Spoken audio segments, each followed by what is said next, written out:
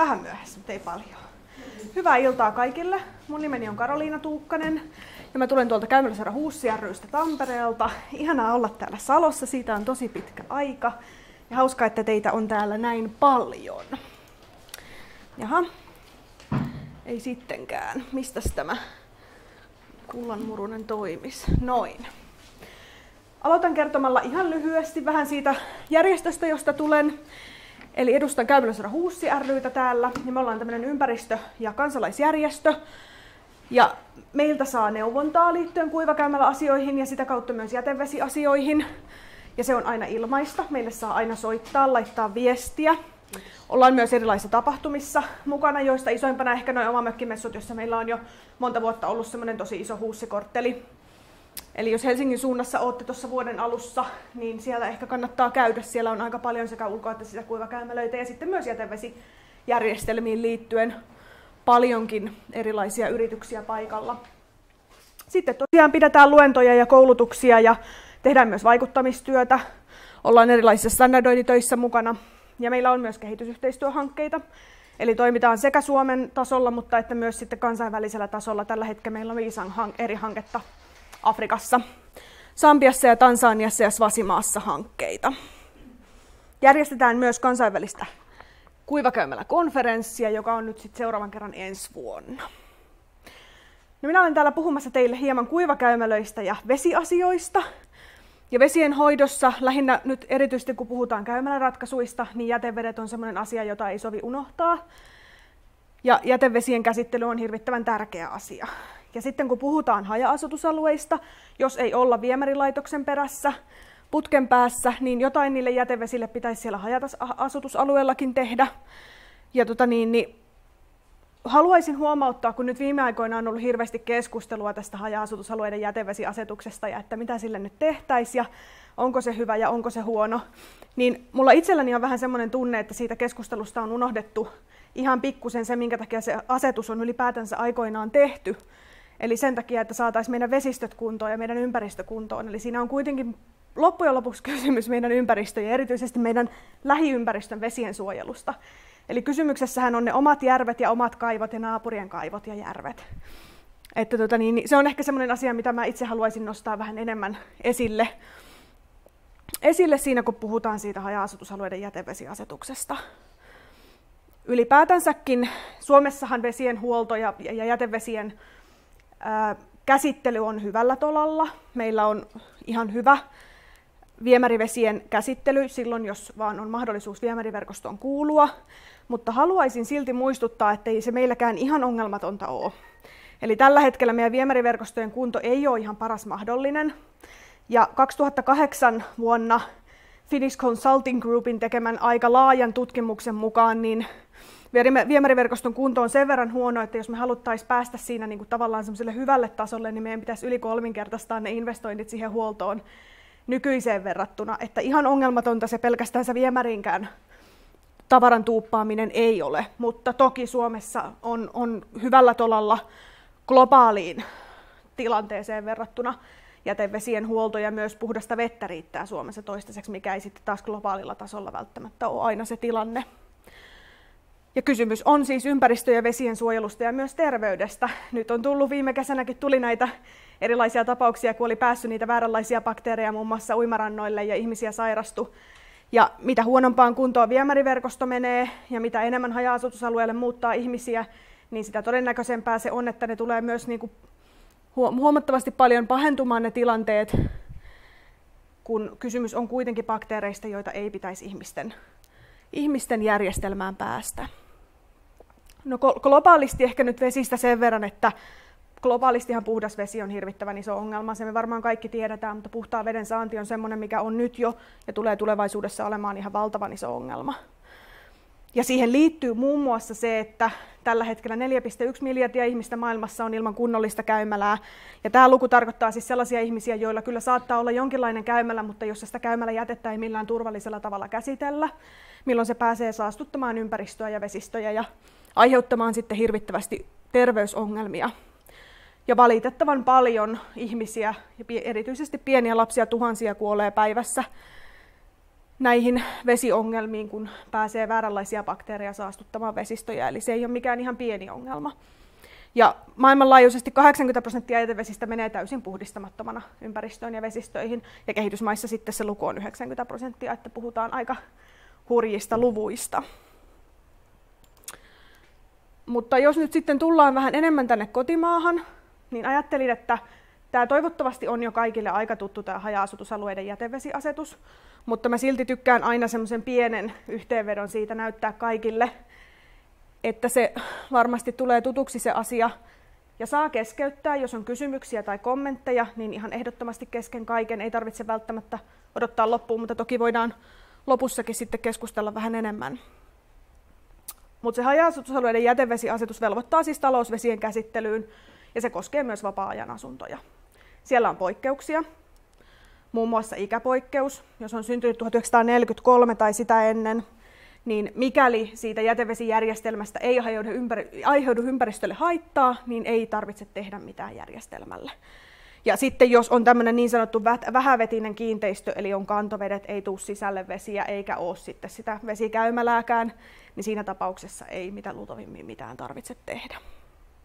Toistaiseksi vielä mennään tämän päivämäärän mukaan, eli 15.3.2016 mennessä pitäisi olla jätevesiasiat kiinteistöllä hoidettuna. Olin eilen Sykkeen seminaarissa, jossa keskusteltiin haja-asutusalueiden jätevesiasetuksesta Suomen ympäristökeskuksessa. Ja sielläkin sanottiin, että vaikka nyt on kantautunut kaikenlaista keskustelua tästä kyseisestä asetuksesta, niin toistaiseksi mennään tällä päivämäärällä ja niillä säädöksillä, että ne on edelleen voimassa, kunnes toisin sanotaan. Ja huomautan myös, että ympäristölaissahan joka tapauksessa, että vaikka asetus ei tulisikaan voimaan, niin ympäristölaki kyllä velvoittaa meitä huolehtimaan jätevesistä. Sovelletaan heti uudisrakentamisessa ja siihen verrattavissa muutostöissä, mikä on hyvä myös muistaa. Ja se, mitä sillä siis pyritään tekemään sillä asetuksella, on vähentämään käsittelemättömän jäteveden kuormitukseen verrattuna orgaanista ainetta 80 prosenttia, typpeä 70 prosenttia, anteeksi, fosforia 70 prosenttia ja typpeä 40 prosenttia. Ja on myös hyvä muistaa, että ranta- ja pohjavesialueilla on vielä sitten tiukemmat yleensä ne säädökset. Että jos teillä on hirvittävän lähellä rantaa teidän koti tai mökki, tai sitten jos olette pohjavesialueella, niin silloin kannattaa vielä tarkistaa kunnasta, että mitkä ne säädökset siellä teillä, teidän alueella on ja minkälaista puhdistustasoa siellä sitten vaaditaan. Ja tähän kuivakäymällä on varten otettava vaihtoehto. Hirveästi on ollut nyt puhetta pitkin oikeastaan asetuksen alusta saakka ja nyt varsinkin sit viime aikoina siitä, että se on hirveän kallis että se tulee kauhean kalliiksi ihmisille, kun joutuu jätevesille tekemään jotain, mutta siitä on tehty aika paljon tutkimuksiakin, että esimerkiksi kuivakäymälän avulla niin se ei välttämättä edes ole hirvittävän kallista se niiden jätevesien käsittely. Koska kun te saatte ne käymälävedet pois sieltä, jossa on kuitenkin kaikista eniten sekä orgaanista ainetta, fosforia että typpeä, niin teille jää jäljenne pesuvedet, eli harmaat vedet, ja niiden käsittely on huomattavasti paljon helpompaa, koska niissä on niin vähän näitä aineita, joita sieltä pyritään poistamaan sieltä vesistä. Eli saattaa olla, riippuen tietysti teidän järjestelmästä, joka teillä tällä hetkellä on, mutta se nykyinen järjestelmä saattaa jopa niille teidän harmaille vesille riittääkin. Ja joka tapauksessa se on huomattavasti paljon helpompi käsitellä ne harmaat vedet, kun te olette poistanut ne mustat vedet kuivakäymälän avulla sieltä.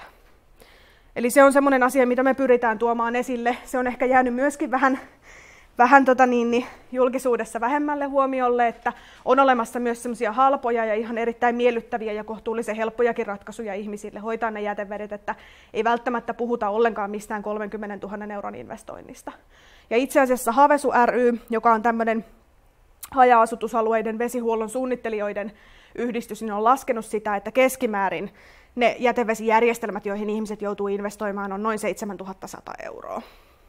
Toki, jos on niin sanottu ongelmatontti, jossa pitää sitten tehdä vähän erikoisempia ratkaisuja, niin kyllähän ne saattaa ne kustannukset nousta paljon korkeammiksi, mutta, mutta se kuivakäymällä kannattaa kyllä siinä mielessä pitää ihan oikeasti validina vaihtoehtona mielessä, että, että se, on, se on kustannustehokas ja toisaalta myös saadaan ne hyvät ravinteet sieltä sitten kiertoon, eikä pistetä niitä tuonne meidän jätevesijärjestelmiin tai, tai sitten pahimmassa tapauksessa vielä järviin rehevöittämään, kun ne on kuitenkin oikein hyvät siellä omassa kotipuutarhassa käyttää.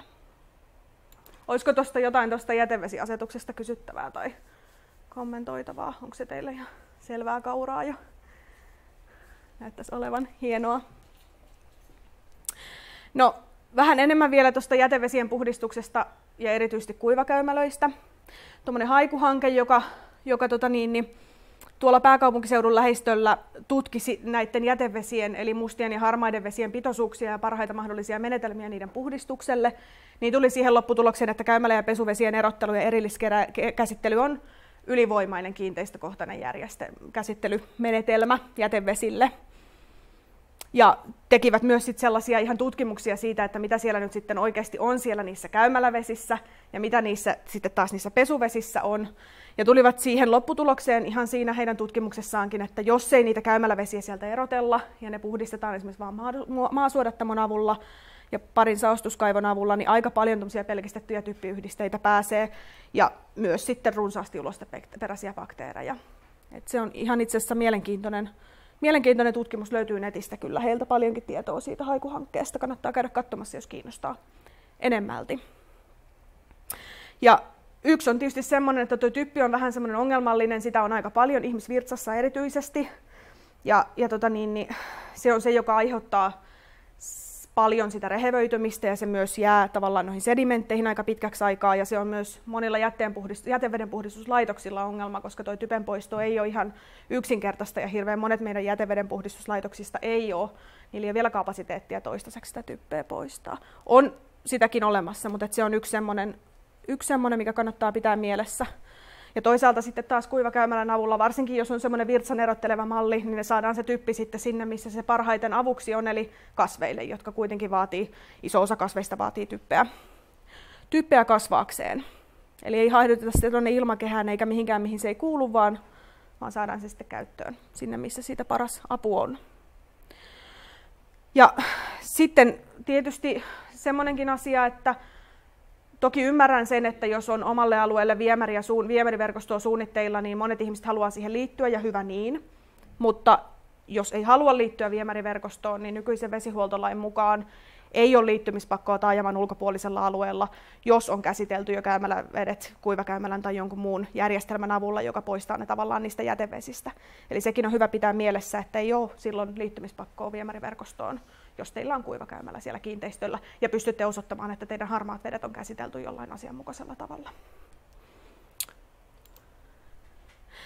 No, tässä on nyt semmoinen graafi vielä siitä, että kuinka paljon niitä erilaisia aineita, nyt niitä poistettavia aineita sitten on siellä käymälävesissä verrattuna niihin pesuvesiin. Eli tästä näkee aika hyvin sen, että ulostebakteereista suurin osa on tokikin siellä käymälävesissä, eli tässä alemmassa osuudessa. Ja myös typestä ja fosforista on, on valtaosa valtaosa niissä käymälävesissä, että ihan pieni osa jää sitten tuonne pesuvesiin. Eli kyllä niiden puhdistaminen sitten huomattavasti paljon helpommaksi tulee niiden pesuvesien, kun ei ole noita mustia vesiä, eli käymälävesiä siellä sitten enää jäljellä seassa. No, olen koonnut tähän pikkusen tietoa siitä, että miksi se kuivakäymälä sitten on nykyaikanakin hyvä vaihtoehto. Nythän ei puhuta välttämättä enää mistään ulkohuusseista laisinkaan, vaan ihan hajuttomista ja erittäin mukavista ja päällepäinkin useasti ihan semmoisista meille tutun näköisistä käymälöistä. Malleja on useita Suomessa saatavilla, on sisä- ja ulkokäyttöön. Eli olette sitten mökki, mökin jätevesijärjestelmiä tai käymäläasioita laittamassa kuntoon tai sitten ihan vakituisen asutuksen, niin malleja kyllä löytyy melkein joka tarkoitukseen. Mun urani aikana ei nyt vielä toistaiseksi ole tullut sellaista kiinteistöä eteen, jossa ei olisi minkäänlaista kuivakäymäläratkaisua löytynyt.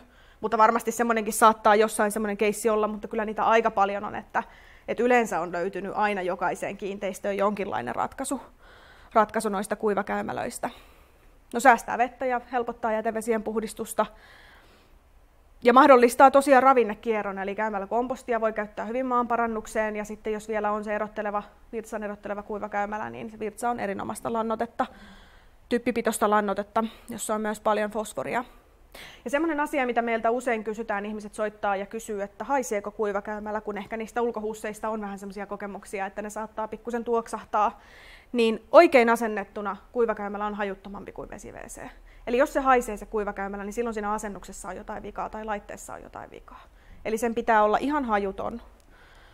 Ja teknologiaa kehitellään nyt muun muassa Bill and Melinda Gates Foundation on, on kuuluttanut, että he etsivät tulevaisuuden vessateknologiaa, joka olisi juurikin tällaista teknologiaa, joka ei sitä vettä käytä, koska se on globaalisti se puhtaan veden saatavuus niin iso ongelma. Eli kyllä tämä sellainen asia on, jota paljon nyt tutkitaan ja, ja tota niin, niin uusia ratkaisuja haetaan. Aika high-tech-ratkaisujakin joissakin tapauksissa, että ihan uskomattomia ihmeellisiä avaruusvessoja on tullut välistä eteen. No, kuivakäymälän hankintaan liittyy tiettyjä lupia, jotka pitää olla ja suunnitelmat pitää olla. Erityisesti näiden harmaiden vesien suunnitelma pitää teettää sitten. Ja se, kunnasta kannattaa aina selvittää rakentamista ja jäteveden käsittelyä ja kompostointia koskevat määräykset.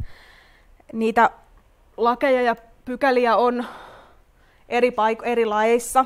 Jätelaissa on jotakin, joka liittyy taas sit siihen käymälätuotosten käsittelyyn, oikeanmukaiseen käsittelyyn. Ja sitten tietysti laki eräistä naapuruussuhteista määrittää sitä, että mihin sitä kuivakäymälää sitten voi rakentaa. Ja maankäyttö- ja rakennuslaissa on, on sitten tosiaan, koska mahdollisesti tarvitaan rakennuslupa, toimenpidelupa tai vähintään ilmoitus, kun ruvetaan kuivakäymälää rakentamaan. Ja terveydensuojelulaissa tietysti sitten puututaan siihen, ettei niistä aiheutuisi niistä ihmistuotoksista mitään haittaa terveydelle. Ja vesihuoltolaissa on paljonkin, ja siellä muun muassa sitten myös vesi, vesihuoltolaitosten toiminta-alueiden määrittely tulee tuolta vesihuoltolain kautta, eli että onko sinne teidän alueelle tulossa vesi, ää, tota niin, niin, vesihuoltolaitosta, onko suunnitteilla tai onko jo. Ja ympäristönsuojelulajissa on nyt sitten paljonkin erilaisia asioita, jotka määrittää kuivakäymälöihin liittyviä asioita, ja myös se haja-asutusalueiden jätevesiasetus on osittain ympäristölaissakin kirjattuna, että, että ympäristöä ei saa pilata, pilata käymälöiden avulla. Ja sitten meillä on tosiaan tämä hajajätevesiasetus, joka määrittää sitten taas haja-asutusalueilla sitä jätevesien käsittelyä. Tässä nyt tämmöinen pieni koonti lähinnä siitä, että, että on semmoinen asia, jossa tietysti monissa eri laissa saattaa olla jotakin semmoista huomioon otettavaa. Ja tosiaan ranta-alueet ja pohjavesialueet on sitten vielä tiukemmin säänneltyjä, niin kuin mä tuossa mainitsinkin jo. Onko täällä paljon sellaisia ihmisiä, jotka on kiinnostuneita kuivakäymälää sisälle laittamaan? Joo, että kannattaa tästä puhua enemmän. Puhun sekä ulkokuivakäymälöistä että sisäkuivakäymälöistä, että toivottavasti kaikille jotakin tietoa tulee. Tämä koskee oikeastaan kumpaakin sekä ulko- että sisämalleja. Silloin kun te rupeatte sitä mallia sinne teidän kiinteistölle miettimään, niin ensin kannattaa lähteä siitä, että minkälainen se teidän käyttäjämäärä tulee olemaan, koska se vaikuttaa hirveästi sen laitteen valintaan kun eri laitteet kestää erilaisia käyttäjämääriä ja käyntitiheyksiä. Eli jotkut laitteet saattaa olla sellaisia, että ne ei kovin kovaa käyttäjämäärän ylitystä kestä. Et sit jos teille ryykää se kymmenen sukulaista yhtäkkiä kylään, niin se saattaa ollakin, että teidän käymälä ei sitten välttämättä riitä sille koko porukalle. Ja se kannattaa ottaa siinä suunnitteluvaiheessa jo huomioon, että valitsee sellaisen mallin, joka kestää sitten käyttäjämäärän ylityksiä, jos niitä tulee sitten niitä vierailijoita useinkin. Tuommoinen keskimääräinen tuotos vuodessa on 500 litraa virtsaa ja 50 litraa kiinteitä jätettä. Eli sitä virtsaahan tulee paljon ja se kannattaa kyllä ottaa sit siinä huomioon, jos semmoista erottelevaa käymälää harkitsee, koska sit sitä virtsaa on aika paljon, että sille pitää olla joku säilytyspaikka ja myös joku loppusijoituspaikka. Ja se on ehkä semmoinen, mikä joskus tulee vähän ihmisille yllätyksenä ja meille jonkin verran tulee soittoja siitä, että no mitä me nyt sitten, että meillä on täällä 500 litraa virtsaa, että mihin me tää laitetaan. Et sit jos on hirvittävän pieni tontti eikä oikein mitään paikkaa, missä sitä virtsaa siellä omalla tontilla voisi käyttää, niin sitten kannattaa ehkä harkita jotain muuta kuin erottelevaa kuivakäymälää, kun sitä virtsaa ei saa käyttää tällä hetkellä missään muualla kuin omalla tontilla, kun sillä ei ole toistaiseksi vielä lannoitetyyppinimeä. Eli esimerkiksi sitä ei voi myydä eikä luovuttaa vaikkapa läheiselle maanviljelijälle, mikä on kovasti paljon harmi. Mutta tota, niin, toivottavasti sekin jossain vaiheessa muuttuu. Ja tietysti aina kannattaa ottaa huomioon laitekohtaiset suositukset ja laitteen toimintaperiaatteet. Onko se semmoinen, mikä soveltuu sinne teidän oloihin? Et esimerkiksi jos te mietitte vaikka johonkin kylmään tilaan tai johonkin tilaan, joka on osan vuodesta kylmänä laitetta, niin kannattaa ottaa huomioon se, että kestääkö se laite sitten varmasti sen kylmän lämpötilan. Ja kompostoituessa tuotoksen tilavuus saattaa pienentää jopa yhteen kolmasosaa, että sekin on hyvä ottaa huomioon, kun miettii sitä säiliön kokoa, että paljonko sinne sitä tuotosta tulee. Että jos teitä on kaksi ihmistä, niin ehkä ihan sitä kaikista isointa suursäiliötä ei kannata sinne ottaa, koska sitä saa kyllä sitä säiliön täyttymistä odottaa aika kauan, eikä se kompostoituminen sitten välttämättä ihan parhaiten siellä etene, jos ei sitä tavaraa siellä tarpeeksi ole. No käymälätila on sitten tietysti toinen, joka vaikuttaa tosi paljon sen laitteen valintaan. Erityisesti puhun siitä lisää myöhemmin, mutta erityisesti ilmastointi on sellainen, mikä kannattaa miettiä huolella, koska jokainen laite oikeastaan pakastavaa lukuun ottamatta vaatii oman ilmastointiputken. Ja joskus, kun usein kuivakäymälöitä asennetaan vesivessan tilalle, niin Joskus vesivessat on rakennettu itse asiassa valitettavan usein ihan keskelle asuntoa, ja sitten jos teillä on hirveän monta kerrosta, mistä se putki pitää vetää se ilmastointiputki läpi, niin se saattaa olla sellainen asia, joka tuottaa hieman ongelmia, että, että sitten kannattaa harkita, että pystyisikö esimerkiksi sijoittamaan sitä käymälää johonkin muualle, tai, tai että mikä sitten olisi se paras mahdollinen ratkaisu siihen, siihen, siihen tilanteeseen. Ja myös se, että onko laite sen kokoinen, että se mahtuu sinne teidän tilaan. Joissakin lattian päälle asennettavissa laitteissa on se, että se tyhjennys tapahtuu esimerkiksi edestä tai sivusta tai takaa, ja sitten sille pitää olla sille tyhjennystoimenpiteelle tarpeeksi tilaa siellä teidän käymälätilassa, että kannattaa tarkkaan ne laitteen mitat ja myös se vaativa tila niille huoltotoimenpiteille ottaa huomioon ennen kuin, ennen kuin rupeatte mitään laitetta ostamaan. Ja tietysti sitten myös tämmöiset neste, nesteletkut ja muut, että jos se on semmoinen käymälälaite, josta tulee jotain nesteletkuja esimerkiksi virtsakanisterille, tai jos on joku kanisteri, joka pitää saada sijoitettua johonkin, tai sitten jos otatte semmoisen laitteen, jossa on esimerkiksi isompi säiliö siellä alla, niin pitää pystyä tekemään läpiviennit sinne säiliöön, niin ne on kaikki sellaisia asioita, jotka kannattaa ottaa huomioon jo ennen kuin rupeaa sitä laitetta ostamaan. Ja tietysti sitten ikääntyviä ja liikuntarajoitteisten erityisvaatimukset on hyvä ottaa huomioon. Ja käsienpesupisteestä me muistetaan aina muistuttaa, vaikka Suomessa se ei ehkä ole niin tarpeen. Meillä on onneksi jo aika syvälle iskostunut tuo käsienpesu, mutta kyllä me se silti aina sanotaan. No huollosta ja tyhjennyksestä sanoinkin jo, että sen laitteen huolto- ja tyhjennystoimenpiteet saattaa vaatia jonkin verran tilaa, joka pitää ottaa huomioon. Mutta sitten myös se, että jos teillä on sellainen laite, josta siitä itse laitteesta se tuotos tyhjennetään, niin jos mahdollista, niin se olisi hyvä se käymälätila sijoittaa mahdollisimman lähelle ulko ettei sitä tuotosta tarvitsisi hirveän pitkiä matkoja siellä, siellä sisätiloissa, sisätiloissa kuljettaa. Ja tietysti, että sen saisi mahdollisimman nopeasti sitten jälkisijoitukseen, kompostointiin tai käyttöön. Et lähellä ulkoseinää tai ovea on yleensä paras paikka kuivakäymälälle. Toki muutkin ratkaisut on mahdollisia silloin, jos ei vaihtoehtoja ole, mutta jos pystyy suunnittelemaan sitä tilaa, niin, niin nämä on sellaisia asioita, jotka kyllä kannattaa ottaa huomioon. Ja huollon helppous, se on semmoinen tärkeä asia. No ilmanvaihdosta mainitsinkin jo.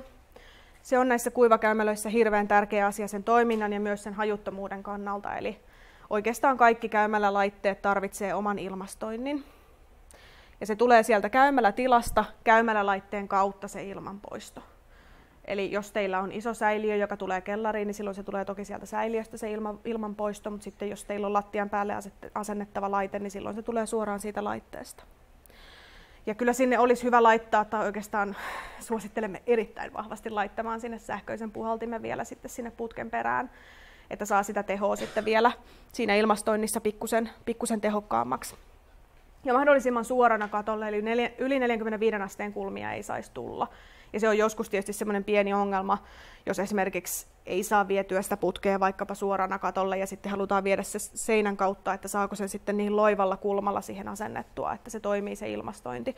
Ja tämä on kyllä semmoinen asia, mitä ei saa jättää huonosti, te- tai sitä ei saa tehdä huonosti, koska se vaikuttaa erityisesti tietysti niihin hajuihin, joita me ei haluta sinne sisätiloihin, mutta myös siihen laitteen toimintaan tosi vahvasti.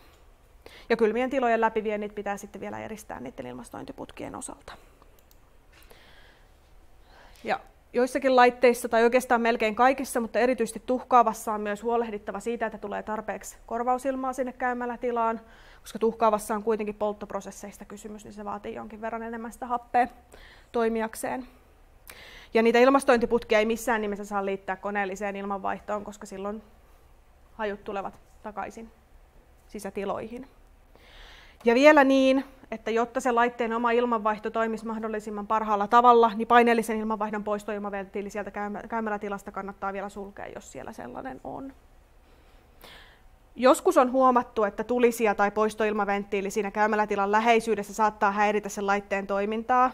Ja jos teillä esimerkiksi on tulisia, tulisia hirveän lähellä käymälätilaa, niin sitten kannattaa miettiä, että ottaisiko siihen putken päähän pikkusen vielä voimakkaamman puhaltimen tai tuulettimen, jossa olisi vähän säätömahdollisuutta, että jos näyttää siltä, että se ei ihan toimi kunnolla se ilmanvaihto siinä käymällä laitteessa, niin saisi sitten pikkusen tehoa vielä ja apua siihen ilmanvaihdolle. Et nämä on sellaisia asioita, että ilmanvaihto on oikeastaan se kaikista tärkein, kun te rupeatte sitä käymällä laitetta miettimään, ja se on myös sellainen, mikä monesti sitten saattaa aiheuttaa pikkusen päävaivaa, että, että mistä sen putken sitten saa vedettyä ja, ja näin poispäin. Mutta se on tosiaan sellainen asia, jota ei voi oikein jättää huomiota. No laitemalleista puhuisin seuraavaksi. Olisiko tässä välissä kysyttävää? Mä kysyn sitten, Joo. että oliko kiertämässä jotain muistinpanoja, mitkä meidän matkasta jäi pois. No niin, joo, saat sieltä.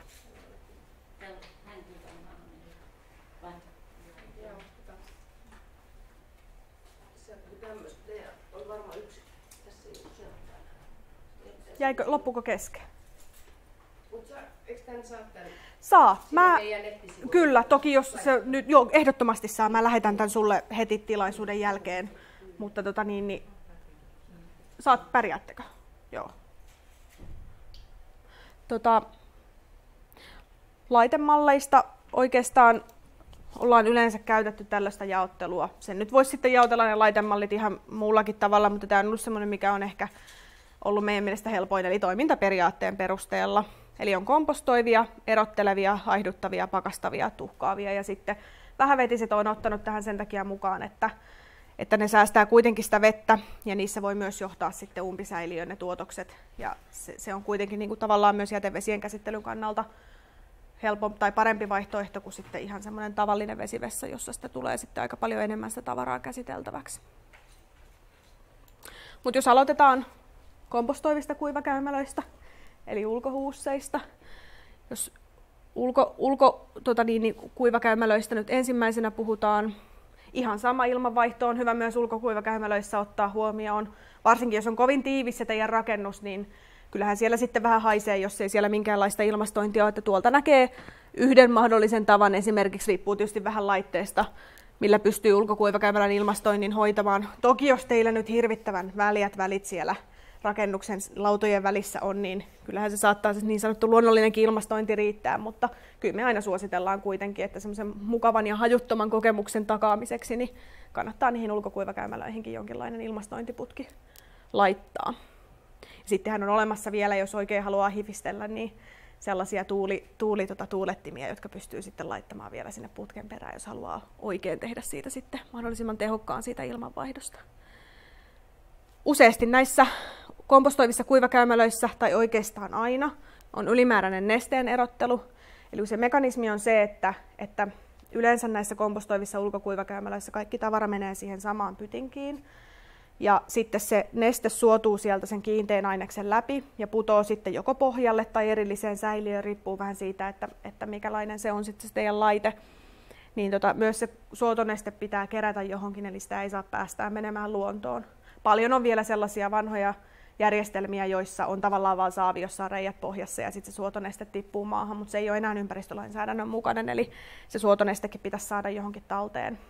Ihan jo senkin takia, että siinä on kuitenkin kaikki taudin aiheuttajabakteerit vielä jäljellä, joita ei sitten halua siihen omaan lähiympäristöön kuitenkaan päästää. Riippuen vähän laitemallista, mutta usein jälkikompostointi on vielä tarpeen, eli se ei kerkiä niin kauan siinä laitteessa se olemaan se tavara, että se olisi vielä esimerkiksi turvallista käyttää. Toki on joitakin malleja, joista ihmiset sanoo, ja riippuu vähän siitäkin, että kuinka paljon silloin käyttöä, että kuinka nopeasti se tulee sitten täyteen. Mutta joissakin malleissa ihmiset sanoo, että ne saa sieltä jo ihan valmista multaa lapettua ulos, että et riippuu tietysti pikkusen siitä laitteen toimintaperiaatteesta ja myös siitä, että onko se esimerkiksi eristetty, että pääseekö se kompostoitumisprosessi edes vähän etenemään myös talven aikana vai pysähtyykö se sitten aina talveksi niin, että se jäätyy. Ja ihan sama mitoitus näissäkin on hyvä ottaa huomioon, että malleja on eri kokoisia, on suurempia säiliöitä ja sitten on ihan pieniä, pieniä malleja ja siitä välistä, että, että kyllä ulkohuussissakin kannattaa vähän miettiä sitä, että paljonko teitä siellä käy, että jos siellä nyt yksi, kaksi ihmistä kesällä käy kolme kuukautta, niin ehkä ei sitä kaikista suurinta säiliöä kannata sinne ottaa, vaan joku semmoinen vähän pienempi malli. Ja tietysti esimerkiksi, jos on vaikka semmoinen tilanne, että on vaikea tyhjentää noita isoja säiliöitä, niin kannattaa harkita sit sellaista säiliöä, jossa on pyörät alla ja jonka pystyy vaan vetämään sieltä pois ja vaikka laittamaan sitten vaihtosäiliön tilalla ja sittenhän se toinen säiliö samalla toimii kompostorina, jossa se tuotos sitten kerkiää sillä välin maatumaan tai kompostoitumaan, kun se toinen säiliö on käytössä, että niitä kaikkia sellaisia ratkaisuja kyllä sitten on, joissa esimerkiksi se tyhjennys- ja huoltotoimenpide on sitten paljon helpompi. Toki se sitten on ehkä kustannuksiltaan pikkusen kalliimpaa, mutta, mutta sellaisiakin vaihtoehtoja kuitenkin on. No sitten jos puhutaan kompostoivista kuivakäymälöistä sisällä, niin yleensä ne on silloin näitä suursäiliömalleja, koska niissä pienemmissä malleissa, jotka on lattian tason tai lattian päälle asennettavia, niin ne on niin pieniä ne säiliöt, että siellä ei se kompostoituminen vielä kerkiä alkamaan juuri yhtään. Biolanilla on semmoinen Naturum, joka on oikeastaan ainoa lattian päälle asennettava kompostoiva malli. Se on semmoinen rumpu, rumpu, rumpukuiva käymälä, jossa poljetaan semmoista poljinta ja se rummuttaa sitä tuotosta siellä niin, että sinne tulee ilmaa ja se kompostoituminen lähtee muutenkin vähän nopeammin käyntiin. Mutta yleensä ne on tällaisia suursäiliömalleja, mikä tarkoittaa sitä, että se säiliö on sitten yleensä kellaritilassa tai siinä käymällä laitteen tai käymällä istuimen alapuolella, että sitten vaaditaan vähän tilaa sieltä kellarista tai jostain sokkelista tai jostain, mihin sen säiliön saa asennettua. Nämä suursäiliömallit on hirvittävän hyviä, koska ne on kohtuullisen helppoja huoltaa, kun nuo säiliöt on niin isoja, että niiden täyttymisessä kestää tosi kauan, että niitä ei tarvitse tyhjentää kauhean usein. Mutta toki monissa kiinteistöissä on se ongelma, että niille ei yksinkertaisesti ole tilaa, että ei ole kellarissa tai missään sellaista tilaa, mihin pystyisi laittamaan tuon laitteen, koska niissä pitää kuitenkin aina se säiliö asentaa suoraan siihen istuimen alapuolelle.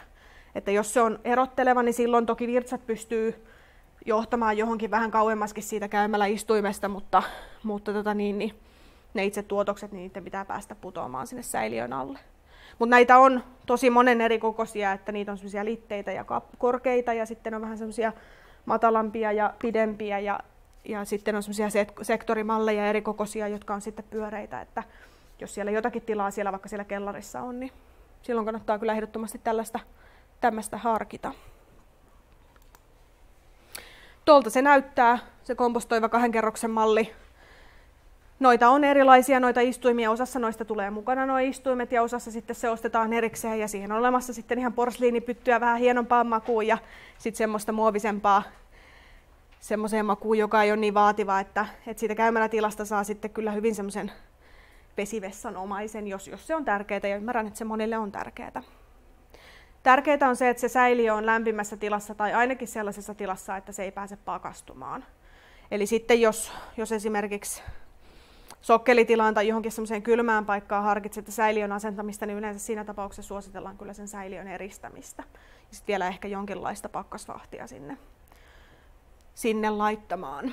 Mutta siinä tapauksessa kannattaa ehkä sitten ottaa yhteyttä jo niin kuin suunnittelijaan, joka osaa ottaa huomioon kaikki ne seikat, mitä on otettava huomioon, jos semmoiseen tilaan lupe, rupeatte laittamaan. Niitä on joitakin, joitakin suunnittelijoita löytyy, jotka on näihin kuivakäymällä ratkaisuihin erikoistuneita, jotka osaa sitten kyllä tämmöisessä tilanteessa auttaa. että jos on esimerkiksi vähän haastava se oma tontti, niin kyllä sieltä sitten jo ammattimaisen suunnittelijan kanssa varmasti jonkinlainen vaihtoehto löytyy.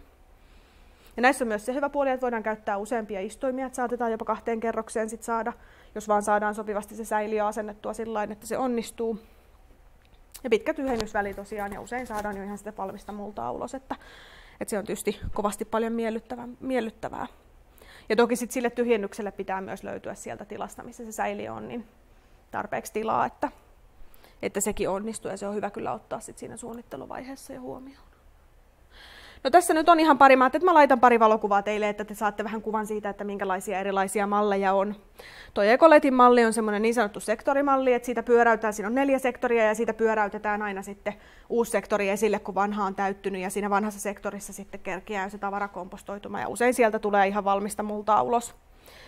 Niillä on muistaakseni tällä hetkellä neljä eri kokoa markkinoilla, jos en ihan väärin muista, se aina pikkusen vaihtelee. Ja on myös ulkokäyttöön tämmöinen sektorimalli olemassa Ekoletillä. Oikein hyvä vaihtoehto. Sitten tässä on Enviroletin ja Green Toiletin tämmöisiä vähän isompia säiliöitä, joita pystyy sekä sisällä että ulkona käyttämään, että sopii kumpaankin. Ovat sitten jo pikkusen isompia. Sitten on mulliksen säiliöitä, joita on, on tota niin, useita eri kokoa. Eli heillä on sitten semmoisia kapeita ja korkeita ja matalampia ja leveämpiä malleja montaa eri kokoa, että sieltä löytyy kyllä aika hyvä valikoima sitten erilaisia säiliöitä. Sitten on tuommoinen Eco Dry Box, jossa on sitten vielä erikseen tuo virtsan erottelumahdollisuus. Että siellä on sitten säiliö virtsalle. Virtsalle myöskin, jos haluaa tosiaan sitä kerätä erikseen siellä kiinteistöllä. No tässä on sellainen kuva, mitä mä tykkään näyttää, koska tästä pikkusen ehkä saa paremman käsityksen siitä, että minkälaisia eri ratkaisuja sinne kahden kerroksen kiinteistöön on mahdollista laittaa ja myös sen, että, että mitä sitten ne erilaiset käymälämallit tavallaan vaatii. Et sit jos puhutaan semmoisesta lattian tasoon asennettavasta, niin silloinhan tämä kaikki jää täältä pois, että sitten teillä on vaan tämä laite, josta menee ilmastointiputki tonne katolle. Mutta sitten se voi olla tosiaan sellainen, että se on virtsan erotteleva, jolla virtsot erotellaan erikseen ja kiinteät tuotokset jää tähän ja silloin teillä on tavallaan tämä koko systeemi.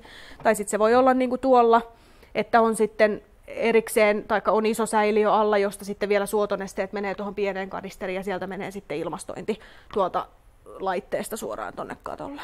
Sitten siellä on vielä harmaa vesijärjestelmä erikseen ja kompostori tuolla sitten vielä kätevästi oven vieressä, että pääsee tuosta suoraan tyhjentämään sitten kompostoriin noin tuotokset. Ja sitten jos puhutaan vaikkapa pakastavasta mallista, niin silloin siinä ei oikeastaan ole mitään muuta kuin tämä laite. Että sitten siitä jää kaikki, kaikki muu pois. Ja on ehkä semmoinen, mistä saa vähän kuvan siitä, että mitä se vaatii sitten, minkälaista myllerrystä siellä talossa, josta kuivakäymälää rupeatte harkitsemaan. No erottelevassa kuivakäymälästä on puhunut. Siinä on siis se periaate, että virtsa erotellaan jo istuimessa erilleen, niin että se ei pääse kiinteän tuotoksen kanssa kosketuksiin ja on silloin steriiliä.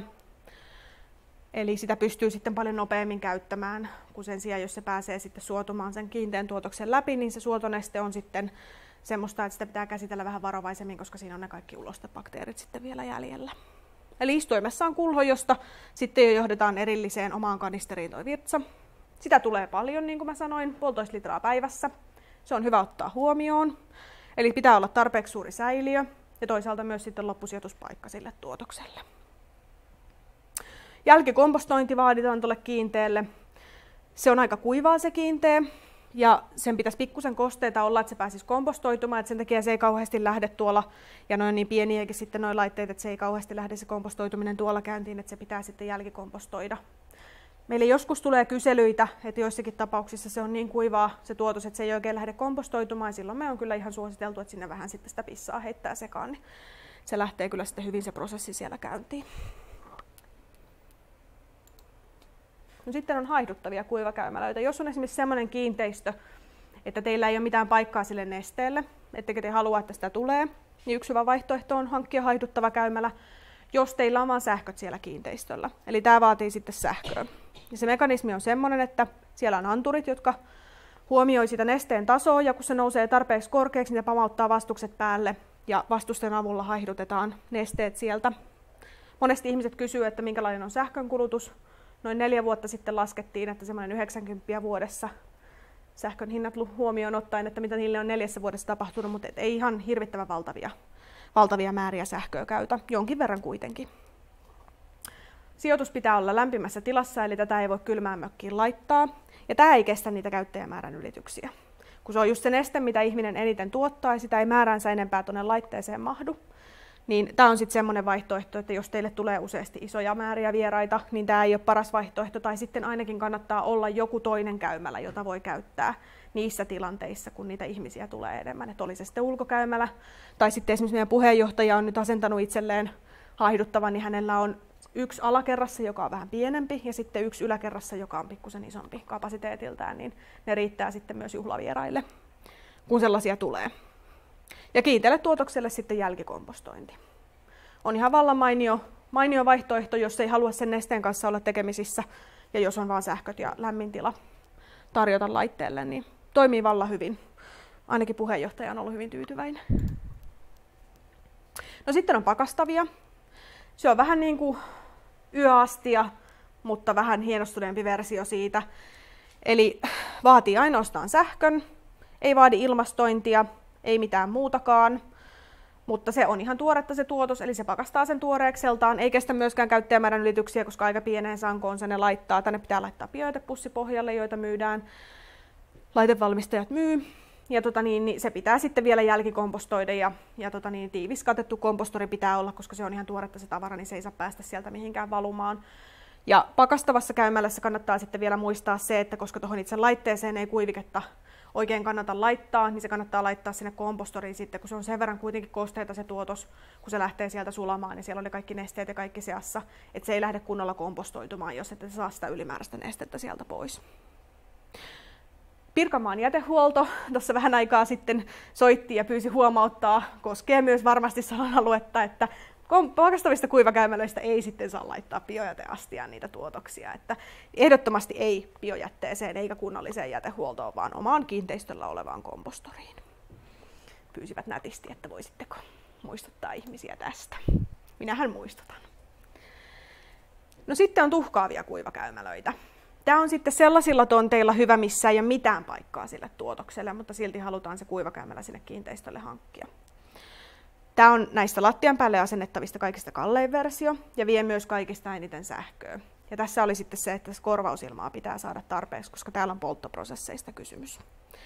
Eli se haihduttaa virtsan, sinne laitetaan joka kerta, kun siellä käydään istunnolla, niin semmoinen paperi sinne kulhon pohjalle, joka imee sitä virtsaa ja sitten se haihduttaa se laite sen virtsan ja se tuhkaa sitten ne kiinteät tuotokset.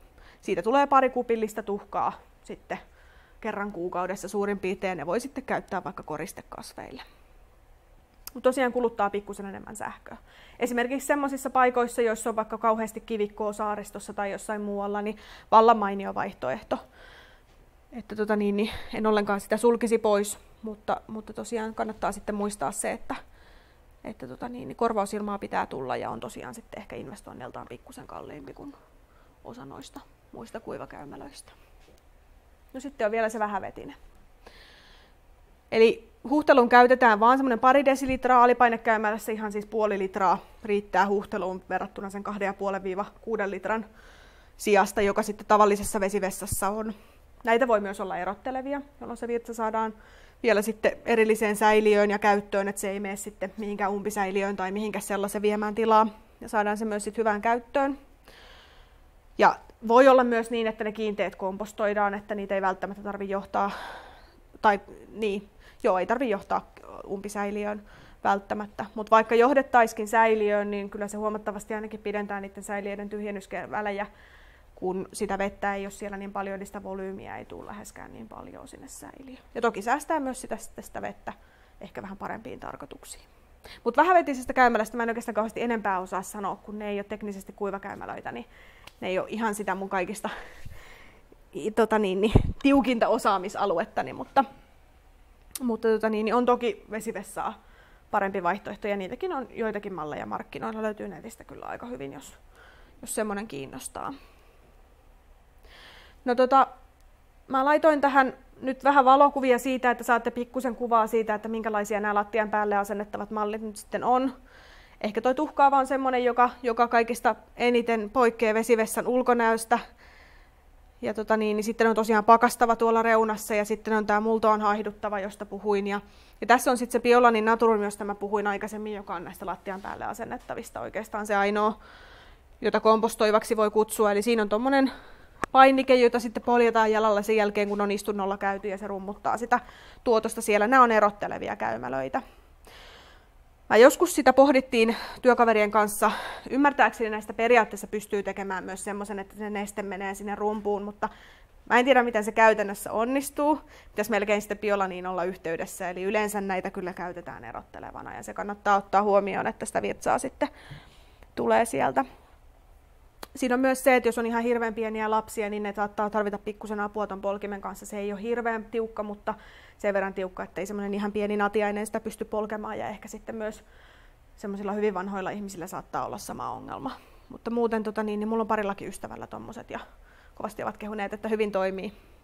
Eikä ollut mitään ongelmia. Ja huoltotoimenpiteetkin näissä on semmoisia ihmistä aina sitä miettiä, että onko se sitten kuinka raskasta huoltaa tällaisia laitteita, missä pitää niiden tuotosten kanssa olla tekemisissä, niin aikanaan tehtiin semmoinen kysely kuivakäymälän käyttäjille ja noin 90 prosenttia koki sen niin kuin tavallaan semmoisen viikoittaisen tai kuukausittaisen siivoustoimenpiteen kaltaiseksi sen huolto- ja tyhjennystoimenpiteen, ettei se sitten loppujen lopuksi itse asiassa edes ole niin raskasta kuin mitä ehkä ihmiset ajattelee, eikä mitenkään vastenmielistä. Että se koettiin ihan semmoisena tavallisena siivoustoimenpiteenä, joka meni siinä sivussa, että et ei se oikeastaan ole mitään muuta kuin, että siihen ensiajatukseen tottuu, niin sen jälkeen se on käymällä muiden joukossa. Että ainakin sillä tavalla meidän, meidän käyttäjät, joita haastateltiin, niin sen asian koki. Joo.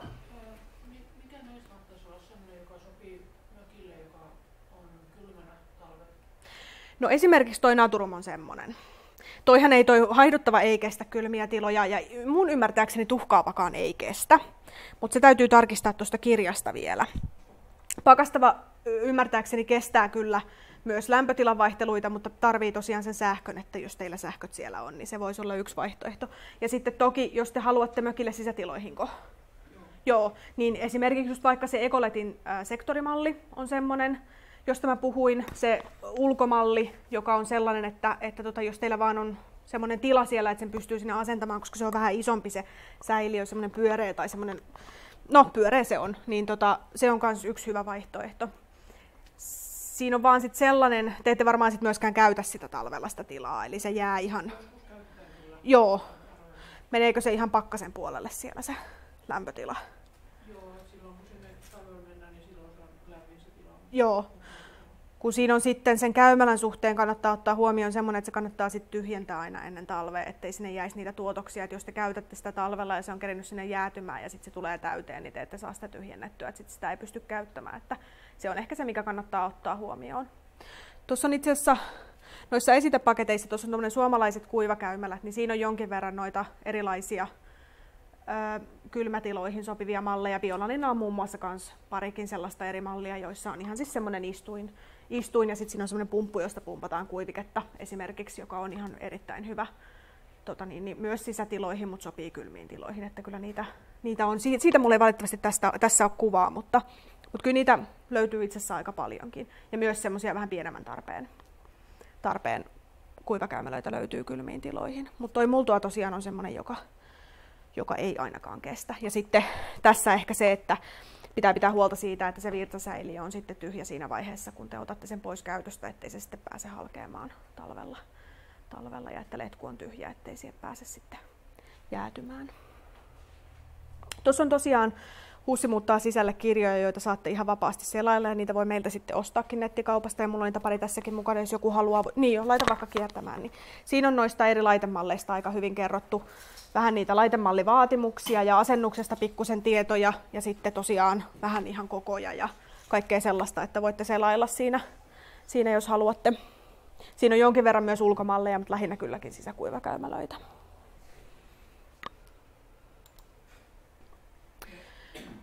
No meille jonkin verran tulee soittoja siitä, että mitäs me nyt tehdään, kun tämä laite ei toimi. Suurimpaan osaan löytyy aika semmoinen helppo vastaus. Joskus on ollut toki myös laitteessa vikaa, että sitten on ihan maahantuojan tai myyjän kanssa joutunut käymään keskusteluja, mutta yllättävän usein ihan tällä luekäyttöohjeet huolella ja säilytä ohjeet neuvolla päästään jo aika pitkälle. Eli kannattaa kyllä oikeasti lukea huolella ne laitteiden käyttöohjeet ihan senkin takia, että että jotkut laitteet esimerkiksi vaatii jotain tietynlaisia alkupanoksia ennen kuin niitä voi ruveta käyttämään. Ja jos se jättää tekemättä ja rupeaa käyttämään sitä laitetta kylmiltään, niin se ei toimi kunnolla. Saattaa jopa mennä rikki. Eli kannattaa kyllä oikeasti tutustua niihin. Tämä on klisee, mutta me on huomattu, että niin useasti se on auttanut tämä ohje, että ollaan se sitten tähän laitettu mukaan. Ja tietysti jos takuu on voimassa, niin kannattaa ottaa yhteys myyjään. Mutta monesti se ongelma on tosi yksinkertainen. Eli käytetään vaikkapa liikaa tai liian vähän kuiviketta siinä laitteessa, tai sitten se voi olla pikkusen monimutkaisempi, että esimerkiksi ilmastointi ei ole oikein laitettu tai jotain sellaista, että, että monesti ne ongelmat on kuitenkin loppujen lopuksi sellaisia, jotka pystyy aika helposti ratkaisemaan. Ja toki ammattilaisilta ja myyjiltä saa apua ja varausia, varausia ongelmien sattuessa. Yksi semmoinen tapaus mulla tuli vastaan. Se oli itse asiassa Biolanin naturumi, jossa jossa se ei vaan millään ruvennut toimimaan se laite oikein. Ja mekin sitä jo niin kuin pähkäiltiin vaikka kenen kanssa, että no mikä siinä nyt on ja miksei se nyt toimii. Ja sitten loppujen lopuksi kävi ilmi, että siellä oli vääränlainen letku jostain syystä tullut siihen malliin. Tämmöistä ei ole kyllä tullut toista kertaa eteeni, mutta että se ei sen takia lähtenyt toimimaan oikein. Että onhan sekin tietysti mahdollista, että siinä laitteessa joku vika on. Ja sen takia kannattaa tietysti aina ottaa yhteyttä myyjää tai maahantuojaan. No kustannuksista meiltä toki kysytään paljon. Riippuu hirveästi laitemallista, totta kai, mutta että semmoinen parista sadasta ihan tuonne pariin tuhanteen euroon on, on kustannukset. Ja tietysti suursäiliöt on aina kustannuksiltaan vähän isompia, ja sitten siihen tulee myös enemmän niitä rakennuskustannuksia päälle. Ja sitten tietysti vielä se harmaa vesijärjestelmä, että jos teillä sattuu olemaan sellainen tilanne, että se teidän olemassa oleva järjestelmä ei riitä teidän harmaille vesille, niin jonkinlainen suodatin tai joku täytyy sitten vielä hankkia siihen päälle. Ja kompostori on yksi semmoinen, Toki sen pystyy itsekin rakentamaan, mutta niitä on myös markkinoilla valmiina. Ja sen pitää olla sitten vielä soveltuva käymäläjätteille, eli tiivis ja, ja sadevesiltä suojattu. Mä näytän tuossa myöhemmin pari kuvaa kompostoreista, niin saatte vähän ajatusta siitä, että mikä sitten olisi noille käymälätuotoksille sopiva. Ja sitten tuulettimet. Riippuu nyt vähän tietysti, että minkälaisen tuulettimen sinne ostatte, niin, niin jonkin verran. Ja polttava nyt on tosiaan noista yksikerrosmalleista toi kaikista kallein, että siellä kolmen tonnin paikkeilla menee. Ja ylläpito on tietysti hirveän iso osa laitteista, vaatii kuiviketta toimijakseen. Sitä voi toki kerätä sieltä omalta tilaltakin, mutta tota niin, niin sitä myydään myös valmiina ja se on noin 10 euroa per säkki. Ja sitten sähkön kulutus tietysti sekä ilmanvaihtoon että sitten laitteeseen, jos laite tarvii sähköä. Ja polttokäymälään noin paperipussit ja sitten kompostoivaan biopussit sitten vielä ylläpitokustannuksista.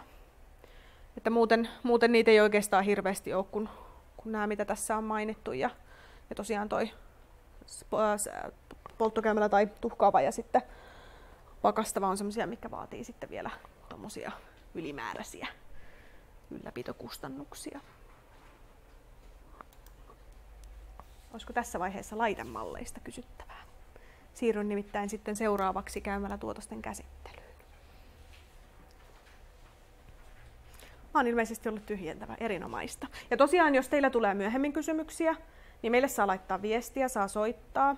Meille voi, meidän nettisivulta löytyy kaikki yhteystiedot, voitte joko mun nimellä tai sitten ihan vaikka toimistoon ottaa yhteyttä, että, että hei, että nyt jäi vähän epäselväksi tämä kohta, tai että jos teillä on sitten jotain spesifejä kysymyksiä liittyen siihen teidän kyseiseen kiinteistöön, niin aina yritetään auttaa, että, että jos vaan pystytään. Toki suunnittelupalveluita ei pystytä tarjoamaan, mutta, mutta aika semmoinen laaja kokemus, kokemukseen perustuva tieto on jo kerinyt karttumaan tässä vuosien varrella, niin kyllä aina pyritään mahdollisuuksien mukaan auttamaan. No mä otan käymälätuotosten käsittelyn otan aina mukaan, koska se on kuitenkin hirveän tärkeä osa sitä kuivakäymälän käyttöä ja liittyy myös sitten siihen ympäristöön ja niihin vesistöihin ja kaikkeen. Että myös ne tuotokset pitää saada sitten käsiteltyä sillä tavalla, ettei niistä aiheudu itselle eikä muille vaaraa eikä myöskään ympäristölle haittaa sitten rehevöitymisen tai jonkun muun muodossa. Säädöksiä löytyy toki kunnalliset jätehuolto- ja ympäristösuojelumääräykset, terveydensuojelu- ja rakennusjärjestykseen liittyen. Ja kuivakäymälän ja kompostorin edellytetään nykylainsäädännön mukaan olevan tiiviitä, niin että sadevesiä ei pääse sisään eikä vesiä ulos. Ja käymäläjätettä ei saa kaivaa maahan eikä laittaa sekajätteen sekaan. Eli nyt jos teillä vielä on mökeillä niitä vanhoja järjestelmiä, missä on tyyliin vain kuoppa, johon kaikki tippuu, tai sitten tosiaan se, mistä mainitsin aikaisemmin, että on saaviosta sitten suotonesteet tippuu maahan, niin se ei ole lain mukainen enää, ja se pitäisi sitten kyllä päivittää, mutta onneksi ne on useasti aika helposti päivitettäviä, että ei tarvitse kauheasti satsata rahaa. Jos pikkusenkin on mielikuvitusta, niin aika helpollakin kyllä pääsee sitten, että sitä ei kannata sillä tavalla säikähtää. Mutta se on hyvä ottaa huomioon, että käymäläjätettä ei saa päästää käsittelemättömänä ympäristöön. Me puhutaan hygienisoinnista, sen takia, että niistä tehdään vaarattomia niistä tuotoksista. Käsittely siten, että taudinaiheuttajat tuhoutuu esim. sitten kompostoimalla tai sitten jos nesteistä on kysymys, niin vanhentamalla. Ja kompostoituminenhan on siis sitä, että pieneliöt hajottaa eloperäistä ainetta hapellisissa olosuhteissa. Tuossa normaalit suolistobakteerit ja loistenmunat siinä suurin piirtein 45-50 asteessa tuhoutuu, Eli se on se lämpötila, mihin yleensä päästään sillä kompostin, kompostorin keskellä tai kompostointi, to, toitumisprosessin keskellä. Senkin takia sitä kompostoria kannattaa pikkusen möyhentää, että, että ne pääsisi sitten ne loistemunat, mahdolliset loistemunat ja kaikki sieltä kuolemaan sillä tavalla tasaisesti tai tuhoutumaan. Ja vanhentaminen on tosiaan lähinnä virtsan ja suotonesteen eli nesteiden osalta sitä, että annetaan seistä suljetussa säiliössä. Ja tämä kompostoituminen ja vanhentaminen ja ne varoajat, mitkä niihin koskee, niin ne alkaa aina siitä, kun ei enää lisätä tuoretta tuotosta sinne sekaan. Se on hyvä pitää mielessä. Suljetussa säiliössä sen takia, että näissä on typpeä ja se typpi pääsee ilmaan katoamaan. Eikä sitä oikeastaan sinne kannata päästä, kun se on paljon parempi siellä jatkokäytössä sitten, joko kompostorissa tai sitten kastelulannoitteena. Kompostointi. Meidän projekti päällikkö sanoo, että se on pieneliöiden viljelyä tai eläinhoitoa. Eli niille pieneliöille pitäisi saada sinne kompostoriin sellaiset mahdollisimman suotoiset olosuhteet, että ne jaksaa sitä työtä tehdä. Ja suotoiset olosuhteet pitää sisällään riittävän kosteuden. Ei saa olla liikaa, koska silloin puhutaan mätänemisestä, ei kompostoitumisesta, mutta pitää olla kosteutta kuitenkin. Lämpötila. Eli kompostoitumisprosessi tarvitsee tietyn lämpötilan, että se on ideaali ja varsinkin talvella, sit jos kompostori ei ole tiivis tai se ei ole eristetty, niin silloin se kompostoitumisprosessi loppuu talven ajaksi ja käynnistyy sitten uudestaan taas keväällä, kun lämpötilat alkaa nousemaan. Ja sitten tämä hiilityppisuhde. Eli nuo pieneliöt, jotta ne jaksaa sitä työtään tehdä, niin ne tarvii hiiliperäistä ainetta ja ne tarvii typpeä. Ja sen takia virtsa on hirveän hyvä kompostorin kiihdyke, koska siinä on tosi paljon typpeä. Eli jos teillä on myös lehtikompostori, jos se vaan on semmoinen, että sieltä ei pääse suoraan se virtsa mihinkään ympäristöön valumaan, niin, niin, tota, niin, niin virtsa on hirvittävän hyvä lehtikompostorin kiihdyke myös. Et esimerkiksi meidän naapurin poikaa mä pyydän aina kerran keväällä pissaamaan kompostoriin, niin ihanasti lähtee käyntiin siellä se kompostoitumisprosessi. Toimii tosi hyvin. Ja hiiltä tulee esimerkiksi kuivikkeesta. Eli nuo pieneliöt tarvii myös sitä hiiltä, jota ne käyttää ravinnokseen, että ne jaksaa sitä hajottamista tehdä. Ja sen takia se kuivike, tai sitten vaikka just joku lehdet tai joku tämmöinen, on, on oikein hyvä se, siellä seassa, kompostorin seassa. Ja kuivikkeen käyttö, sillä on oikeastaan aika montakin erilaista merkitystä, kun puhutaan kompostoitumisesta, koska se imee sen liiallisen kosteuden sieltä, ettei se mätänä se tuotos, vaan kompostoituu. Toisaalta se myös kuohkeuttaa sitä massaa, eli tuo sinne sitä happea, mitä ne pieneliöt tarvii. Ja sen lisäksi siitä saa sitten vielä sitä hiiliperäistä ainetta niille pieneliöille. Et siinä mielessä se on oikeasti ihan hyvä, varsinkin käymällä tuotosten kompostoinnin apuna se kuivike. No, mä oon nyt laittanut tuohon Pirkanmaan jätehuollon kompostointioppaan. Mä en tiedä, onko Salon seudulla olemassa vastaava. Luulen, että netissä varmaan löytyy, mutta toki te voitte myös Pirkanmaan jätehuollon opasta kompostointiin käyttää. Se on tosi hyvä toi opas, sen takia mä oon sitä tuossa pitänyt, koska se on oikeasti tosi kätevä, jos haluaa kompostoitumisesta enemmänkin tietää. Siellä on myös toki muuhunkin kuin käymälätuotoksiin liittyen, että sitten ihan puutarhajätteisiin ja biojätteisiin liittyen. Ja toki myös tonne sitten sekaan kannattaa laittaa esimerkiksi biojätteet ja, ja, ja niin kuin puutarhajätteet, että että toihan on hyvää typpipitoista matskua toi käymälätuotos, että siinä se auttaa myös sit näiden, näiden tuotosten kompostoitumista, kun biojätteissä ja puutarhajätteissä ei sitä typpeä ole, niin avittaa myös sitä prosessia, että siinä mielessä toimii ihan hyvin. Meiltä kysytään usein, että voiko sinne jo esimerkiksi suursäiliöön laittaa biojätteitä? Voi, mutta siinä on sellainen ongelma, että siinä tulee yleensä myös ne pienet kärpäset sitten muassa. Eli jos ette halua niitä sinne teidän käymälätilaan, niin silloin ei ehkä kannata laittaa niitä biojätteitä. Ja sitten esimerkiksi tuommoisissa haiduttavissa ja sellaisissa, niin se ei välttämättä se prosessi sitä kestäkään, mutta jos me puhutaan semmoisista suursäiliömalleista, niin kyllä jotkut sinne laittaa myös biojätteitä sekaan, mutta siinä on tosiaan sitten se riski, että sinne tulee niitä pieniä kärpäsiä muassa. No kuivikkeesta. Kuivikkeeksi soveltuu tämmöinen lannottamaton ja kalkitsematon turve, mutta sen pitää tosiaan olla lannottamatonta ja kalkitsematonta. Sitten hakekarike, purukuorike. Monet ihmiset kerää ihan omalta tontiltaankin kuivikkeen. Siinä kannattaa olla jotain semmoista vähän rouheampaa materiaalia, että se tuo just sitä kuohkeutta sinne massaan, mutta sitten myös jotain semmoista, joka imee sitä kosteutta sieltä. Että semmoinen sekoitus kannattaa tehdä. Se on hyvä muistaa, että jos käyttää kuiviketta, jonka on omalta tontilta kerännyt, niin siellä saattaa myös helpommin olla sitten jotakin kärpästen munia ja sellaista seassa. Eli saattaa sitten vähän ehkä helpommin tulla semmoista pieneläinongelmaa tai tällaista lentävän pieneläimen ongelmaa sinne, sinne laitteeseen, että se on hyvä muistaa. Ja muutenkin kuivikastia kannattaa aina laittaa pistää suljettu, suljettavaan astiaan, ettei sinne pääse sitten kärpäset eikä muut munimaan. Jotkut laitteet vaatii toimijakseen niitä omia kuivikeseoksia. Ja se on nyt vähän semmoinen kaksipiippunen juttu. Mä suosittelen käyttämään, jos laitevalmistaja sanoo, että käyttäkää omaa kuivikeseosta, niin käyttäkää sitä omaa kuivikeseosta. Koska siellä saattaa olla esimerkiksi joku semmoinen aktiiviaine mukana, jota se vaatii se laite, jotta se toimii kunnolla. Et siinä mielessä se ei ehkä pelkästään ole semmoista rahastusta, vaan siinä oikeasti saattaa olla jopa ihan, jopa ihan syykin taustalla. Et niitä kannattaa kyllä käyttää silloin, jos laite, laite sitä vaatii. Ja tosiaan ne alkupanokset on joissakin semmoisia, mitkä jotkut laitteet vaatii ennen kuin ne otetaan käyttöön.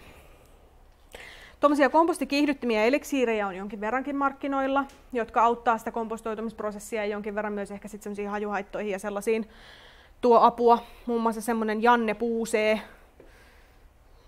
mikäköhän se on, kiihdytin eliksiiri, joku tällainen, on semmoinen, mitä ihmiset on ihan hirveästi kehunut meille, että se on kuulemma tosi hyvä, ja sitä ripotellaan ihan semmoinen pieni määrä, pieni määrä aina pari kertaa viikossa sinne kuivakäymälän sekaan ja kuulemma oikeasti nopeuttaa sitä kompostoitumista. Et jos teillä on ongelmia sen suhteen, että te ette saa sitä laitetta niin kuin kompostoitumaan kunnolla tai jos teillä on hirveästi hajuhaittoja, niin kannattaa kokeilla kyllä semmosia. No tässä on ideaalikompostori. Mä näytän sitten kohta myös semmoisen itse rakennetun kompostorin. Mutta lähinnä se, että se olisi katettu, ettei pääse sadevedet sisään, ja että se olisi tiivispohjainen, ettei sieltä pääse myöskään ulos mitään vaihtumaan, että siellä olisi ilmanvaihtoaukot, jotta sitä happea tulisi sinne, koska ilman happea ei tapahdu kompostoitumista. Ja sitten tietysti mitä helpompi se on tyhjentää ja täyttää, niin sen parempi. Eli luukut kannattaa olla siinä mielessä kätevästi asennettuja ja jyrsiä suojattu, jos vielä on, niin vallan mainio.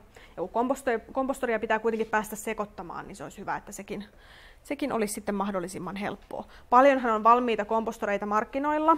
Ikävä puoli niissä kompostoreissa on monesti se, että ne ei ole tiivispohjaisia.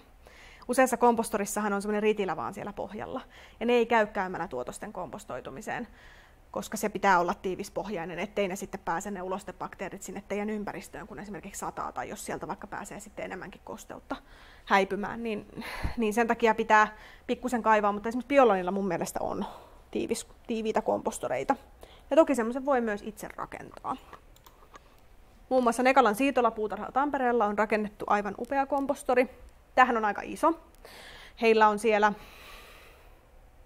40 kuivakäymälää, 30, jotain sellaista, mutta kuitenkin kuivakäymälöitä on aika paljon ja he tuo kaikkien kuivakäymälöiden tuotokset tähän. Tämä on ympäristötarkastajan hyväksymä, eli ei sen kauheasti tämän kummempi tarvi olla. Siinä on katto, se on katettu. Siinä on tiivis pohja, siellä on musta muovi, jolla se on vuorattu se pohja, ja on niillä siinä ilmeisesti joku semmoinen pieni betoni, betonivalukin, mutta periaatteessa se vuorattu pohja riittää. Sitten he on vielä nostanut laitaa vähän ylöspäin, ettei sieltä varmasti pääse mitään valumaan pois. Ja pikkusen on seinää, ettei pääse sitten tulemaan liikaa kosteutta. Tämä on tämmöinen kolmilokeroinen, eli he kompostoi siellä kolme vuotta näitä käymälätuotoksia. Kaksi vuotta riittää, mutta kun se on julkinen paikka, jossa käy paljon ihmisiä, niin hän on annettu olla varmuuden vuoksi ottaa varman päälle ja kompostoida kolme vuotta. Toimii kuulemma erinomaisen hyvin. Käytiin vähän aikaa sitten katsomassakin siellä, niin, niin kyllä tuolla viimeisessä lokerossa ihan valmista multaa oli, että se ei enää haise millekään eikä ja on ihan hieno jakeista, että jotakin pieniä puunpalasia siellä taattaa olla seassa, kun jos kuivikkeessa on vähän isompaan puupalaan seassa, seassa niin se nyt ei tietysti kompostoidu niin nopeasti, mutta sen kyllä ihan haistaa ja niin kuin näkee siitä valmiista tuotoksesta, että, että kun se tuoksuu mullalle, niin silloin se on valmista. Mutta että itsekin voi toki kompostorin rakentaa, jos, jos on sillä tavalla kätevä käsistään. Tässä on vähän näitä varoaikoja jotka kannattaa kyllä ottaa ihan tosissaan. Eli kiinteille käymällä jätteelle vähintään vuosi. Ja silloin sitä voi käyttää katteena tuommoisille koristekasveille ja maanparannuksessa. Ja sitten kaksi vuotta, jos, jos tota niin, niin käytätte ruokatuotteiden maanparannusaineena. Se kaksi vuotta kyllä riittää. Nämä on semmoisia niin kuin, koottu turvallisuus- ja varovaisuusperiaatteiden mukaisesti Suomen olosuhteihin soveltuvaksi. Toki jos haluatte ihan varman päälle ottaa, niin kolme vuotta on oikein hyvä, jos haluatte tosiaan maanparannusaineena käyttää ihan ruokakasveille. Kaksi vuottakin kyllä niin kuin WHO-sääntöjen, maailman terveysjärjestön sääntöjen mukaan pitäisi riittää. Virtsalle kuukausi silloin, kun se on yksityisessä käytössä kerättyä, riittää vanhentamissa suljetussa säiliössä ja sen jälkeen se on oikein hyvä kompostorin tehoaineena, että saa sitä kompostoitumista siellä käyntiin tai sitten tosiaan kastelulannoitteena vedellä laimennettuna. Ja suotoneste on kiinteeseen käymällä jätteeseen verrattavissa, koska siellä on ne samat niin sanotut vaaralliset aineet, jotka pitää sieltä poistaa. Eli vuosi, jos tota niin, niin käytätte koristekasveille ja sitten kaksi vuotta, jos käytätte kastelulannoitteena ruokakasveille. Ja kompostorin tehoaineena myös oikein hyvä toi suotoneste. No tässä käytöstä vähän. Ja tota niin, niin eipä siinä oikeastaan mitään sen ihmeellisempää. Suotonestettä kannattaa vedellä laimentaa. Se on aika tiukkaa tavaraa ja kasvi saattaa ihan siitä palaa, jos sitä sellaisenaan sinne lorottelee, että semmoinen yhden suhde 3-yhden suhde 8 on suotonesteelle hyvä laimennussuhde. Ja kompostia tosiaan levitetään katteena kasvien juurille tai sitten sitä voidaan sekoittaa ihan maaperään ja se toimii hyvänä maanparannusaineena ja auttaa myös kasvien juurtumista ja on tosi hyvä sitomaan kosteutta maaperään. Ja siinä on sekin hyvä puoli tuossa käymällä kompostissa, että ne, tota, ravinteet on hirveän hidasliukosia, mikä on toki kasveille se kaikista herkullisia ja paras muoto. Et sitä kyllä oikeasti kannattaa käyttää hyväkseen, hyväkseen siellä tontilla. Ihan kesäkukille, kasvimaahan, peränäpenkeille, nur, nurmi, ruusuille, mihin nyt keksitte käyttää. Ja tosiaan sitten suotoneste myös voi olla kompostorin kiihdyke, jos niin haluatte. No sitten virtsan käytöstä, jos te päädytte semmoiseen erottelevaan joko siellä mökillä tai siellä omalla tontilla, niin tota, varoaika on tosiaan kotitalouksissa kuukausi, mutta sitten julkisissa laitoksissa kuusi kuukautta WHO-sääntöjen mukaan suljetussa astiassa, ettei sitä typpikatoa pääse tapahtumaan. On tosi hyvä ravinneliuos. Nyt on aika paljonkin jo itse tutkimustuloksia maailmalta missä on tutkittu tuota virtsaa lannoitekäytössä ja hirveän hyviä tuloksia on semmoisille kasveille saatu, jotka typpiperäisiä aineita vaatii. Eli se on kyllä ihan oikeasti ihan valtava hyvä lannoite. Ja se on hirveän harmillista, että sillä ei ole vielä lannotetyyppinimeä. Toivotaan, että se lähitulevaisuudessa sen saa, koska meillä on kuitenkin kasvava fosforipula ja sen lisäksi tyyppilannotteistakin on pulaa. Niin on vähän hassua, että me ei käytetä näitä aineita siellä, missä niistä paras hyöty on. Me ollaan tavallaan ehkä vähän unohdettu se semmoinen vielä tuossa 50-60-luvulla hyvinkin ymmärretty asia, eli semmoinen suljettu ravinnekierto, että se mitä tuotetaan, niin myös tavallaan pistetään takaisin kiertoon sen sijaan, että pistettäisiin se vaikkapa sitten sinne vesistöihin rehevöittämään. Vedellä kannattaa laimentaa. Yhden suhde kolmeen on semmoinen, mitä esimerkiksi Tampereen ammattikorkeakoulu on käyttänyt, kun ne on lannotetestejä tehnyt. Ja tota niin, niin sopii hyvin semmoisille kasveille, jotka vaatii typpeä, mutta sitten vitsas kannattaa muistuttaa se, että siinä on klooria, niin se ei klooriherkelle kasveille kauhean hyvin sovi. Et esimerkiksi atsaleat ja alpiruusut voi olla semmoisia, jotka ei kauheasti tykkää vitsasta, kun ne ei pidä kloorista. Mutta pinaatit, viljat, nurmikko, kaikki tämmöiset oikein paljonkin tykkäävät vitsasta. Tyynellä viileällä säällä ihan typpikadon minimoimiseksi kannattaa levittää ja toki myös hajuhaittojen minimoimiseksi. Ja sitä on laskettu Ruotsissa, että että tota niin, niin neljän henkilön virtsan hyödyntämiseen tarvitaan noin 584 lannotettavaa tilaa, eli nurmikkoa tai jotain muuta. Kun sitä tulee niin paljon sitä virtsaa, niin tarvitaan myös sit sitä lääniä. Et se on ehkä hyvä pitää mielessä. Semmoinen puolitoista litraa per neljä per kasvu, kasvukausi on se, mitä sitä voi käyttää.